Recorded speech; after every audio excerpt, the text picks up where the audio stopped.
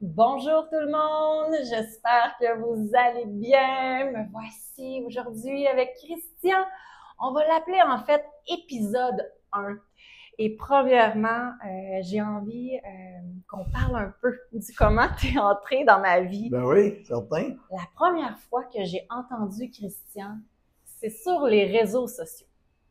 Et la première fois que j'ai entendu Christian parler, ça a clairement été un game changer. C'est vraiment à partir de ce moment-là que ma vie a changé, que je me suis mise à marcher les enseignements de Christian. Moi, ça va faire plus de dix ans que je suis son message, que je suis ses enseignements. C'est venu tout chambouler dans ma vie. C'est venu tout chambouler en moi, ensuite autour de moi. Et c'est ce qui fait qu'aujourd'hui, eh bien, je suis en mesure d'accompagner aussi des gens et je dirais même à changer le mode de vie des gens et ça me passionne. Je pense qu'on a une passion commune hein, qui est la naturopathie. Il y a une belle histoire qui nous rejoint à travers tout ça. Euh, quelque chose qui viendra, qui viendra peut-être, peut-être que oui, peut-être que non, à travers le process des épisodes. Euh, moi, je pense que tout a sa raison d'être. Oui, absolument. Tout a sa raison d'être et puis euh, ça viendra ou pas. Mais euh, aujourd'hui, j'ai envie qu'on parte en feu qu'on parte en feu et qu'on parle de la protéine, Christian. Toi, là, tu viens complètement déconstruire ça. Oui, le mythe de la protéine. Le mythe de la protéine. Ouais. Et c'est fou comment ce que, même à travers ceux que j'accompagne, on a tellement peur. Peur de manquer de protéines. Là, je mange pas cette protéine. Je mange pas cette protéine, j'ai peur de manger de la protéine. On voit même des régimes en ce moment. Là. Il y a une grande mode juste sur la protéine. Matin, collation, midi, soir, juste la protéine. Il n'y a plus de fruits, il n'y a plus de légumes, il n'y a plus rien. On est dans la protéine. Là, il faut que tu nous expliques ça. Comment ça que tu viens déconstruire tout ça? Ben, la première chose qui est importante de comprendre, c'est que le corps humain, là, on, doit toujours comprendre le corps dans une, dans une perception de, de cellules. Quand j'enseigne aux étudiants, je leur dis tout le temps, il faut comprendre le besoin cellulaire. Votre corps, là, c'est 100 trillions de cellules. vous avez des cellules du cœur, du foie, de l'estomac, du pancréas, des os, des muscles. Votre corps, c'est un, un amas de cellules. Les cellules sont vivantes à l'intérieur de vous. Puis votre corps, c'est surtout des liquides. Donc, vous êtes à 80% de liquide. Donc, vous avez des cellules qui baignent dans deux liquides. Puis, lorsqu'on parle de protéines, le corps humain n'est pas capable au niveau cellulaire d'utiliser des protéines. Ça, c'est important de comprendre ça. Les cellules n'ont pas besoin de protéines. C'est une façon, c'est comme un genre de, d'information qui est véhiculée en ce moment, mais qui n'a pas de sens. Fait quand vous mangez de la protéine, comme vous mangez du poulet ou du poisson, ben si ça s'en va directement dans votre sang, ben ça va premièrement causer des dommages à votre sang et à vos cellules, puis deuxièmement, vos cellules ne seront pas capables d'utiliser ça. Fait que pour être capable d'utiliser la protéine, lorsque vous mangez vos aliments, c'est pour ça qu'on n'est pas ce qu'on mange. On est ce qu'on digère ou qu'on digère pas. On dit tout le temps, on est ce qu'on mange, c'est faux. Là.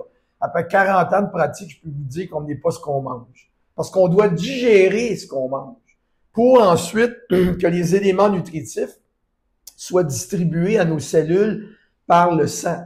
Donc, on doit premièrement digérer. Donc, on a le foie, l'estomac, le pancréas. Puis là, on mange la protéine, comme supposons on mange du poulet. Puis là, les organes de digestion vont décomposer le poulet en acides aminés. Hmm.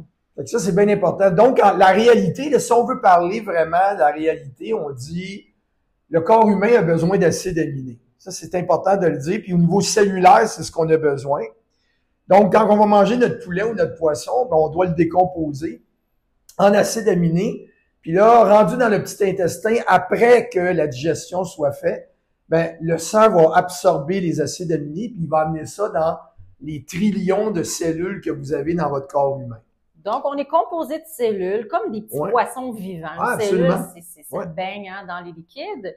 Là, on mange. Là. Là, on dit en fait que la cellule, le morceau de poulet, ça y va pas. Là. Non. Il faut qu'elle soit décomposée en acides aminés pour être en mesure de l'assimiler. Oui. Donc, la protéine descend, ça brasse tout ça, ça décompose tout ça en acides aminés. Et là, c'est là que la cellule elle va absorber, oui, elle va recevoir du sang ces acides aminés. Puis là, pour revenir à ce que je disais tantôt, c'est bien important de comprendre ça, c'est que dans toutes les activités que vous faites dans une journée, euh, marcher, courir, euh, travailler, etc., l'activité qui requiert le plus d'énergie au niveau du corps humain, c'est la digestion. On l'appelle le premier pilier. Donc, quand vous mangez des aliments, par exemple, encore une fois, on parle de la protéine, on parle de poulet, de poisson, de bœuf, etc., ça va demander une quantité d'énergie absolument extraordinaire pour être capable de transformer la protéine animale en acide aminé. OK? Puis la majorité des gens n'est pas capable de le faire. Pourquoi on n'est pas capable de le faire? C'est très facile à comprendre.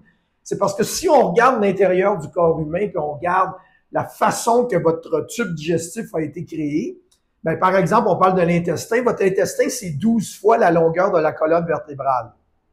OK, là? Portez attention à ça parce que c'est bien important de comprendre ça. Donc, le corps a une anatomie, une physiologie, OK? Nos intestins, petits intestins et gros colons, là, le colon, le gros intestin, 12 fois la longueur de la colonne vertébrale, OK? Lorsqu'on regarde dans la nature, parce que la naturopathie, c'est toujours d'observer la nature. Ça s'appelle naturopathe, la voie de la nature. Donc, tout ce qu'on vous enseigne, qu'on parle, c'est toujours ce qu'on observe dans la nature qui, qui se produit depuis des millions d'années. Hmm. Depuis tout le temps, tout le temps, tout le temps, tout le temps. Là. Fait que lorsqu'on regarde les animaux dans la nature, on regarde par, par exemple un carnivore, l'intestin de carnivore, c'est trois fois la longueur de sa colonne vertébrale. Voyez-vous, là, il y a une différence. Mm. Lorsqu'on regarde un herbivore, comme euh, par exemple une vache ou un cheval, c'est 32 fois. Voyez-vous encore une grosse différence. Pourquoi il y a des différences comme ça? C'est parce que c'est différentes espèces. Donc, le carnivore, lui, il a un intestin court. Pourquoi? Ben, il mange la viande. C'est un mammifère. Son corps est chaud et humide. Donc, lorsqu'il mange sa viande, il doit être capable de la digérer, puis il doit être capable de l'éliminer avant que la chaleur et l'humidité de son corps fassent en sorte que la protéine animale qu'il mange exclusivement se mette à fermenter et à putréfier dans son intestin et que là, ça produise des toxines. Les toxines refoulent dans le corps humain, puis l'animal deviendrait malade. Donc, la raison pour laquelle il y a un intestin court, c'est parce qu'il mange juste de la protéine puis il faut qu'il la digère bien, puis il faut qu'il l'élimine le plus rapidement possible pour éviter que son corps soit intoxiqué par la putréfaction de la protéine. C'est intéressant tellement ce que tu dis, puis c'est tellement ce que j'enseigne aussi.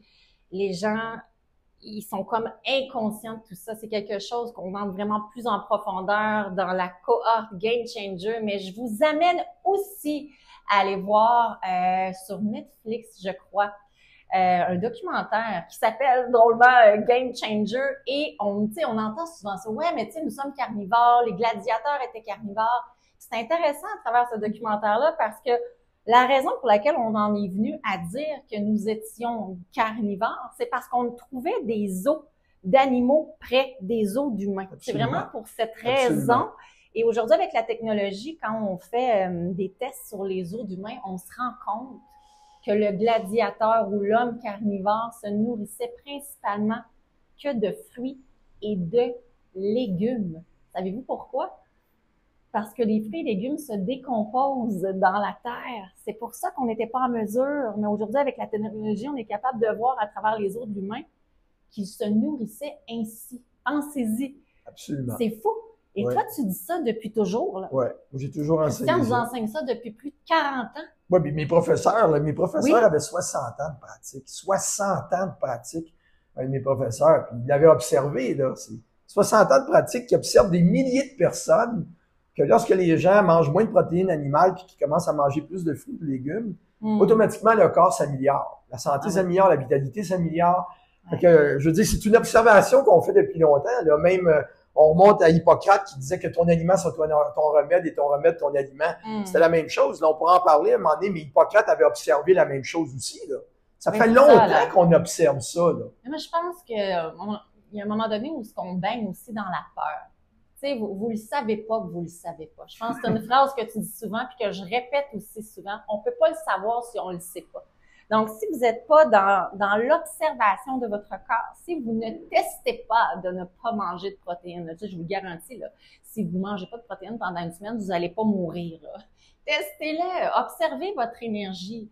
C'est incroyable à travers moi. Moi, je me, je me vois. je mangeais mes salades et mon conjoint mangeait de la, un morceau de viande. C'est fou. Là, 15 minutes après, son énergie dropait. Et c'est en en le testant, en le testant qu'on observe que l'énergie, écoute, si on avait eu des problèmes, on l'aurait vu depuis longtemps parce que ça fait un bout qu'on. Moi, je mange plus de protéines. Je ne sais pas si toi, t'en manges.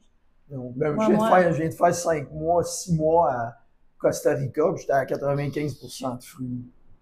Ah, puis le reste, c'était des légumes, puis des fois un petit peu de quinoa. J'ai perdu un peu de poids, là, mais je m'entraînais quatre heures par jour sans arrêt. Euh, j'ai aucun problème, je montais des montagnes. Non, non, c'est c'est simplement de comprendre. On est là pour vous expliquer qu'est-ce que ça veut dire. Quand on observe la nature, la nature qui existe depuis des millions d'années, c'est facile. C'est pour ça que je vous explique comment le corps est fait à l'intérieur. Quand vous regardez le corps, puis que vous réalisez que le corps, c'est la manifestation de l'intelligence universelle, exactement comme les animaux qu'il y a dans la nature, etc., puis que vous regardez à l'intérieur du corps humain, ben, les êtres humains, on est frugivores, gang. On est frugivores, on est des primates.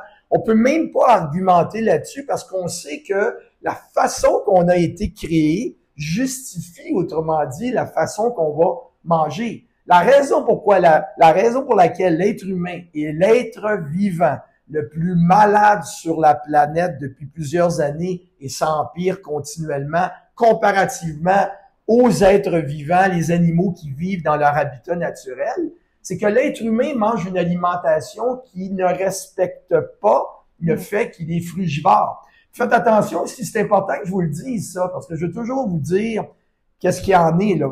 Ça vient pas de mon mental, ça vient d'une observation que beaucoup de monde ont fait avant moi, là.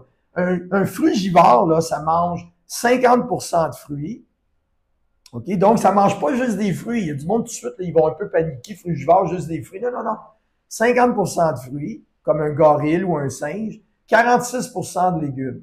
Donc, vous entendez souvent parler que l'être humain est une espèce alcaline. Vous avez entendu parler de ça depuis de plusieurs années, on en parle.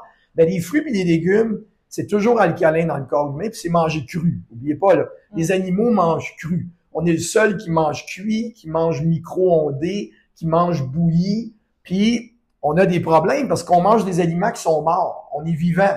Dans la nature, ce qu'on voit, c'est que le vivant engendre le vivant. Les animaux vivants mangent du vivant. Mm. OK? Donc, nous, c'est, c'est un problème qu'on a. On mange beaucoup trop cuit. Puis quand on cuit, ben, on enlève la vie des aliments. Ensuite de ça, ils mangent à peu près 4% de protéines. Donc, 50% de fruits, 46% de légumes. Donc, 96% de son alimentation est alcalinisante. Ce qui respecte ce qu'on dit depuis plusieurs années. L'être humain est une espèce alcaline puis 4% de protéines. En ce moment, là, comme Mel le disait au début, là, ce mythe de protéines-là, les gens sont rendus à 55, 60, 65% de leurs calories consommées par jour qui viennent de la protéine animale. Oui, puis on ne dit pas qu'on est contre la protéine, c'est pas ce qu'on dit, hein, mais il faut aussi comprendre que l'humain ne mange pas la bonne partie de la protéine en plus. Il faut aller derrière aussi. À un moment donné, c'est manger de la protéine, mais de quoi c'est nourri aussi l'animal?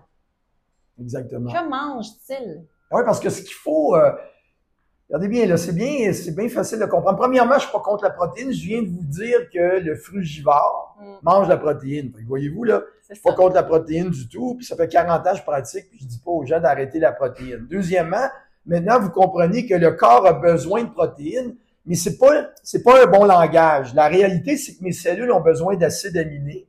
Puis des acides aminés, c'est des constructeurs. L'autre chose que vous devez comprendre, c'est que quand je mange des légumes, un fruit, par exemple, c'est, on appelle ça un nettoyeur, parce que c'est très astringent, ça nettoie le corps humain. Donc, les, les, les primates, les singes, les gorilles, mangent une alimentation quotidienne qui est environ 50% de fruits. Donc, leur alimentation quotidienne, quotidienne, elle est nettoyante. Voyez-vous, à 50% régulièrement, à tous les jours, ils se nettoient. C'est important de voir ça. Nous, on parle d'une détox ici et là de temps en temps. Non, non. Il faut avoir un mode de vie qui permet au corps de se nettoyer quotidiennement. Ensuite, ils mangent 46% de légumes. Les légumes contiennent des vitamines, des minéraux, des fibres comme les fruits. Mais les légumes, eux autres, contiennent plus d'acides aminés. Voyez-vous, là, c'est important. Ouais, Donc, les légumes sont constructeurs. Fruits nettoyants, légumes constructeurs. Puis là, ils mangent 4% de autre chose. Les primates vont manger des fois des petits lézards, ils vont manger d'autres choses comme des noix, des graines, etc. Mais ils vont aller chercher un peu de protéines ailleurs, mais très peu. Très peu parce que dans les légumes, j'ai pas des protéines dans les légumes. Des acides C'est aminés. ça. Dans les légumes, on a des acides aminés. Donc, mon corps n'a pas besoin de dépenser de l'énergie. Vous vous rappelez? C'est ça. Ça demande beaucoup d'énergie de transformer protéines en acides aminés. Ouais. Là, je mange mes légumes, grosse salade, plein de légumes dedans, toutes sortes de couleurs. Bam. Tout ce que je mange contient des acides aminés. Mon Non. corps n'a pas besoin de transformer.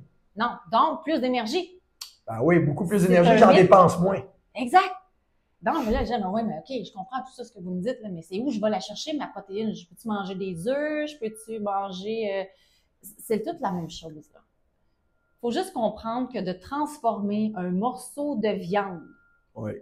en acides aminés, parce que ta cellule, c'est ce dont elle a besoin. C'est comme ça que ça fonctionne, et non de la protéine à la cellule.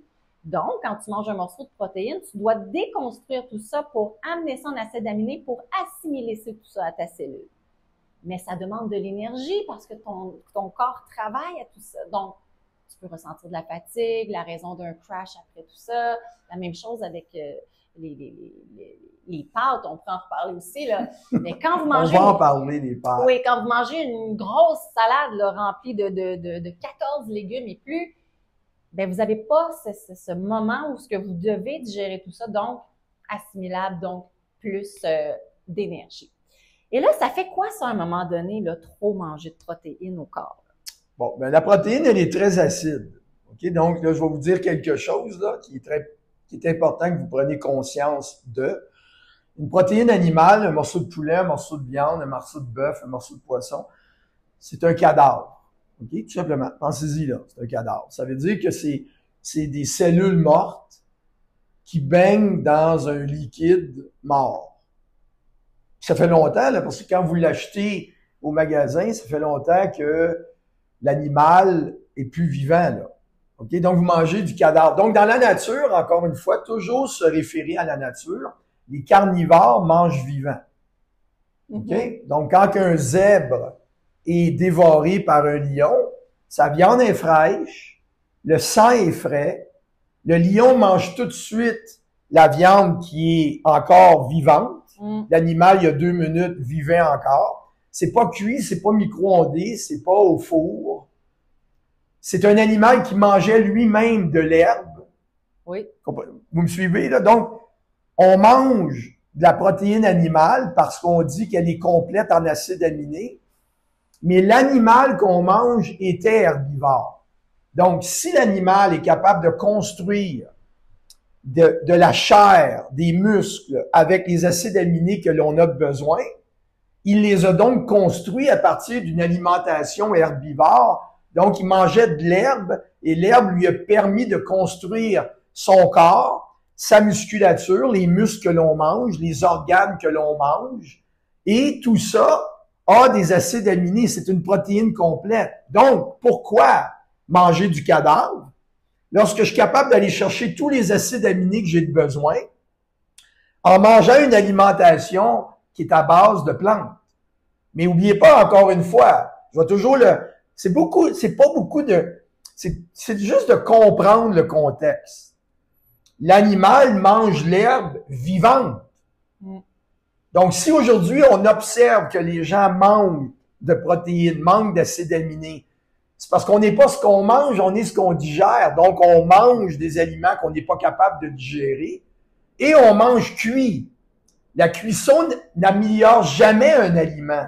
La Mm. cuisson va toujours altérer l'aliment au niveau atomique, au niveau moléculaire, au niveau énergétique aussi. Donc, quand je mange beaucoup de protéines, comme les gens font de plus en plus, Ouais. parce que là, c'est un mythe là, qui prend de plus en plus de l'essor, c'est qu'il faut regarder premièrement comment l'animal a été élevé. On pourra en parler un peu plus tard, là, mais là, ce que je veux amener votre attention sur, c'est que en mangeant beaucoup de protéines, vous n'êtes pas capable de la digérer parce que vous n'êtes pas carnivore.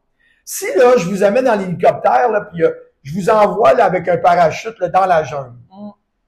qu'est-ce que vous allez faire? Allez-vous courir après un animal, y sauter dans le dos, puis trancher la carotide avec vos griffes puis vos dents, puis être capable de le manger cru? Ben non.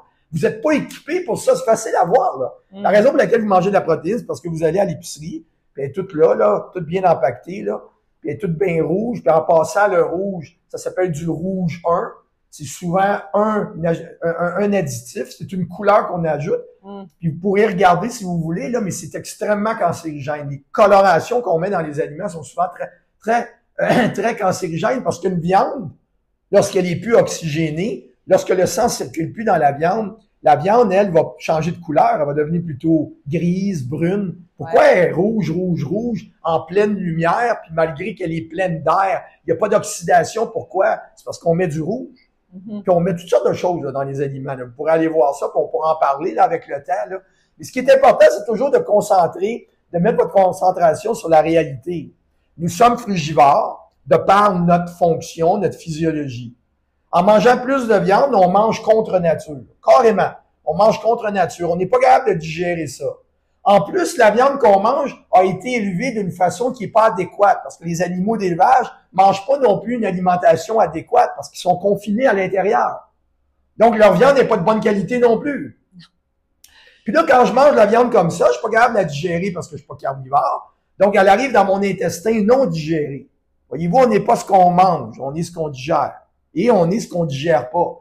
En arrivant dans l'intestin pas digéré parce que les organes de digestion n'ont pas été capables d'accomplir leur travail, trop de protéines, je suis pas un carnivore. Là, les bactéries intestinales prennent la relève parce que le corps veut continuer à décomposer la viande. Dans la nature, quand les animaux meurent, ils se décomposent. Quand un arbre tombe, il se décompose. Donc, mon corps est pareil, il veut continuer à décomposer. Mm. Là, les bactéries prennent la relève là, ça s'appelle de la putréfaction. Fait que là, je suis dans un intestin qui est long, 30 pieds de long. Et on le voit dans Game Changer, dans ce que je vous parle. Exactement ce que Christian dit. C'est long, c'est chaud, c'est humide, c'est sombre. C'est un milieu idéal pour la prolifération des bactéries, ce qui est une bonne chose parce que la nature veut décomposer. Oubliez pas, là, vous avez un microbiome, là, vous avez des bactéries intestinales, là, juste comme ça, là. Il y a plus de bactéries dans votre intestin qu'il y a de cellules dans votre corps. S'il y a plus de bactéries dans vos intestins que de cellules dans votre corps, chaque bactérie a un ADN. L'ADN de votre intestin est plus important au niveau des bactéries intestinales que l'ADN de vos cellules. Juste dans votre ventre. Donc, en mangeant beaucoup de viande, beaucoup de putréfaction, la viande pourrie, les gens se sentent ballonnés, gonflés, on le voit là, l'être humain moderne typique, le ventre est ballonné. Les gens se plaignent de pas se sentir bien, de se sentir ballonné, d'avoir des gaz, etc. Mm. De pas bien aller à la selle, de pas bien éliminer. Ça, on va l'expliquer, là, parce que souvent, encore une fois, vous ne savez pas que vous ne le savez pas. Il faut savoir c'est quoi un intestin qui élimine bien. Puis là, la pourriture produit des produits toxiques. Je peux vous en nommer trois, là, mais il y en a une multitude. Indole, scatol, ammoniac. Les trois cancérigènes. Hmm. Simplement. Vous mangez pas un aliment cancérigène. Vous mangez un aliment qui est mal digéré, qui arrive dans l'intestin dans un milieu chaud, humide, sombre. L'aliment pourrit, puis là, il produit des produits cancérigènes parce qu'il y a une transformation qui se crée. Hmm. Puis là, ça, ça refoule dans votre corps.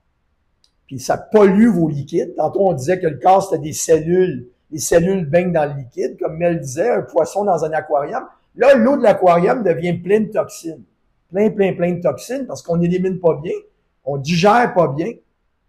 Puis là, le corps, ben, il va, il va vous envoyer des messages comme quoi ça va pas bien à l'intérieur, simplement. Vous êtes plus propre à l'intérieur. Pourquoi ça fonctionne, les régimes à la protéine? Parce que là, on va l'entendre, ah oui, mais là, je diminue mon inflammation, je perds du poids. Ben, premièrement, c'est de se voir. Hein. De se voir pourquoi qu'on se dirige vers une, une détox, ou peu importe, là, animal, pour perdre du poids au niveau physique mais il faut revenir au mode de vie. Là. Et pourquoi ça fonctionne? Pourquoi la personne va perdre l'inflammation? Pourquoi qu'elle va perdre du poids avec un régime de protéines? C'est une super bonne question. La raison pour laquelle ça fonctionne, c'est que la majorité des régimes à protéines, à base de protéines, ont pris beaucoup d'importance et de popularité dans les dernières années à cause que les gens sont de plus en plus en excès de poids. Donc, on observe que la population des pays euh, développé devient de plus en plus en excès de poids, donc il y a un problème. Mm. ça fait des années qu'on mange beaucoup de viande déjà. Hein, on mange déjà beaucoup de viande. Puis là, quand le corps devient intoxiqué parce qu'on mange pas bien puis qu'on digère pas bien, oubliez pas là, puis on vous expliquera pourquoi on digère pas bien, mais une des raisons qu'on digère pas bien, c'est vraiment le stress, la tension, puis le fait qu'on mange pas les aliments qui respectent notre espèce, ça va venir. Vous allez tout un moment donné, là, mais ça va venir très clair parce que la nature, c'est que de la vérité puis que de la clarté. Il faut juste l'observer. Fait que là, l'être humain devient en excès de poids. Quand on regarde les animaux dans la nature, il n'y a pas d'excès de poids. OK? Un, un, chevreuil jeune, un chevreuil en mi-âge, puis un chevreuil en fin de vie a le même poids. Ah, voyez-vous, c'est spécial. Dans la nature, on observe qu'il n'y a pas de prise de poids. La forme de l'animal reste la même. On regarde l'être humain. Wow! L'être humain, jeune et mince, puis aujourd'hui, il y a de plus en plus de jeunes qui sont en excès de poids. Puis là, au fur et à mesure qu'on prend de l'âge, mais on prend pas vraiment d'âge, là, mais qu'on avance dans la vie, là, le corps change de forme. Mm. Ben, il change de forme parce qu'il devient intoxiqué. Quand j'accumule des déchets dans mon corps, les déchets prennent de l'espace. Puis en prenant de l'espace, mon corps se déforme. Mm. Ça prend de l'espace. Et les gaz et les toxines prennent de l'espace. Donc, pour le ventre, le ventre ballonne. J'accumule des déchets dans mon ventre. Parce que je mange beaucoup de viande, je mange pas assez de légumes crus, j'élimine pas adéquatement, j'ai des gaz. Les gaz, ça prend plus d'espace que de la matière. Donc, mon corps, quand il devient intoxiqué, il est intelligent, mon corps. Mon corps, c'est la, résultante de millions d'années d'évolution, puis c'est la manifestation de l'intelligence universelle. C'est spécial, là. Vous êtes la manifestation de la vie, écrit en lettres majuscules, la vie. C'est vraiment spécial. Là, le corps, lui, il se dit, OK, là, je suis en train de devenir de plus en plus sale. Je vais utiliser le mot sale, toxique. Je deviens de plus en plus acide. Parce que je mange pas bien, je digère pas bien, j'élimine pas bien. Carrément ça. Fait que là, mon corps, il dit, OK, là, les toxines, la saleté, l'acidité peut causer de l'inflammation. Fait que là, mon corps va dire, OK, pour me défendre contre les toxines que je ne peux pas bien éliminer, je vais produire du gras. Voyez-vous? Donc, le gras, c'est un effet que le corps développe. Donc, c'est le corps qui répond à l'intoxication qui se produit à l'intérieur de vous parce que votre mode de vie est pas adéquat. Donc là, vous faites du gras. Quel est le rôle du gras? Stocker les toxines dans le gras pour pas que les toxines circulent dans les liquides du corps humain et endommagent vos organes vitaux et vos cellules. Sinon, c'est la mort. C'est ça. Fait que le corps, lui, là, il est bien, il est très, très bien, euh, comment je peux dire, il est intelligent, le corps. Lui, il fait juste répondre à votre mode de vie. S'il a besoin de faire du gras, il va en faire. Mais c'est pas une erreur. Le corps ne fait jamais d'erreur. Parce que vous êtes la manifestation de l'intelligence universelle. Donc, le gras s'accumule dans votre corps, vous perdez la forme originale de votre corps. Les toxines se stockent dans le gras, puis votre corps est tranquille, mais vous perdez du gras. Vous prenez du gras de plus en plus. Mm. Là, quelqu'un vous dit régime à protéines. Mm. Fait que là, il faut que vous compreniez que le mental humain, il est très limité dans sa capacité de comprendre le tout. Il comprend plutôt par, euh, je pourrais dire, par étape, par section, mais il y a de la misère à comprendre le tout. Mm-hmm. Regardez bien ce qui se passe. C'est que là, on a observé que la protéine n'est pas un aliment d'énergie. Je me répète, c'est bien important ce que je vous dis là. La protéine ou les acides aminés ne sont pas une substance qui donne de l'énergie au corps. C'est une substance de structure. Ma peau, mes muscles, mes organes à l'intérieur de mon, mon, corps, ça contient des vitamines, des minéraux, des antioxydants, puis ça contient des acides aminés. C'est de la structure. Ce qui me donne de l'énergie, c'est les sucres. Par exemple, le fructose des fruits et le glucose qu'il y a dans les légumes ou les gras. Les gras, par exemple, dans l'avocat ou des choses comme ça peuvent être des sources d'énergie. Mais les principales sources d'énergie, là, qui sont bonnes pour le corps humain parce qu'on est frugivore, c'est fructose et glucose. OK? Mais là, on donne la protéine au monde. Fait que là, on leur dit mangez beaucoup de protéines matin, midi, soir, continuellement. Fait que là, le corps dit Hey, tu me donnes beaucoup de protéines. Premièrement, je suis pas capable de la digérer complètement, mais en même temps, tu me donnes pas d'aliments qui me donnent de l'énergie. Fait que le corps dit OK. Il y en a besoin, là. Ben ouais, il y a besoin de protéines, il y a besoin d'énergie. Que le corps dit OK, c'est correct, je vais aller la chercher dans le gras. C'est ça. C'est fantastique, c'est phénoménal. C'est fou. Puis en même temps, c'est une pensée de l'humain qui a comme manipulé ouais. La physiologie du corps pour perdre du poids. C'est correct, mais regardez bien, écoutez bien. Là, le, le gras fond. Oui. Fait que là, ils, perdent du poids. Fait que ça fonctionne. C'est ça, ça fonctionne. Mais les toxines étaient stockées dans le gras. Mm. Là, il n'y a plus de gras pour les stocker. Mhm. Puis la protéine animale, elle, est très acide. Elle rend le corps de plus en plus acide. Ouais. Fait que vous perdez du poids, vous avez momentanément moins de douleur, vous vous sentez mieux parce que Ben oui, il y a une perte de poids en même temps. Donc, C'est c'est ça. c'est sûr qu'ils vont Tout dire. le monde oh, est oh, content. vous êtes content au bout. Puis en même temps, l'énergie que vous avez peut être produite par l'acide de la viande. C'est spécial. L'énergie peut venir du glucose puis du fructose, mais elle peut venir l'énergie de l'acidité de la viande. Ça va faire des gens qui vont être très nerveux, très anxieux, très irritables, etc. L'énergie, ça veut rien dire. là. Il y a du monde qui vient de me voir et me dit Christian, j'ai tellement d'énergie que je dors pas le soir. Ben, c'est pas la bonne source d'énergie. Non. Moi, je veux de l'énergie, puis quand je me couche, en 10 secondes, je m'endors pour la nuit. Ça, c'est une belle énergie. C'est moi qui est en charge de mon énergie. Quand j'ai des besoins est là, puis quand je veux dormir, elle est là aussi. Mm.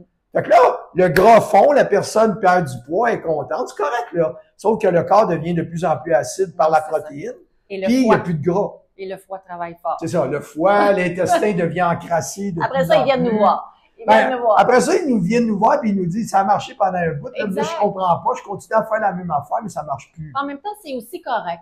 C'est aussi Oui, correct. c'est correct, c'est de l'expérience. C'est au niveau, tu sais, on est une âme, hein. on est une âme sur Terre dans un, un corps, un mental, un niveau spirituel. Et je pense que quand on est au niveau corps, on cherche, hein. On a du Ben, poids, on va ben chercher quelque ben chose pour perdre du poids, pour perdre, mais au final, euh, ce qui est important aussi, là, parce que ça m'a passé dans l'idée, c'est que on mange la protéine avec des hydrates de carbone complexes. Ça, c'est un autre problème, ça, qu'on pourra parler un moment donné, mais on va manger de la viande avec du pain pour faire une sandwich. On va manger de la viande avec du riz, avec des patates. Fait que quand on dit aux gens, mange beaucoup de viande, mais mange plus d'hydrates de, de carbone complexes, comme le pain, ça aide énormément aussi. c'est ça le régime, là. c'est ça, cette mauvaise combine-là crée beaucoup de fermentation dans le ventre aussi. Fait que quand je tombe juste à la protéine, je facilite la digestion parce que je ne suis plus dans la mauvaise combine. Tu sais, c'est vraiment, il y a quelque chose qui se passe, là, mais Ouais. l'être humain sera pas en bonne santé à manger de la protéine Non. comme ça. Vous n'êtes pas carnivore. Non, puis vous allez le voir à long terme, à travers votre expérience. Oui, c'est ça, exactement. Hey, c'est bon la gang, on se voit déjà pour une prochaine Yes, épisode. super. Bye bye. Merci tout le monde. Bye bye.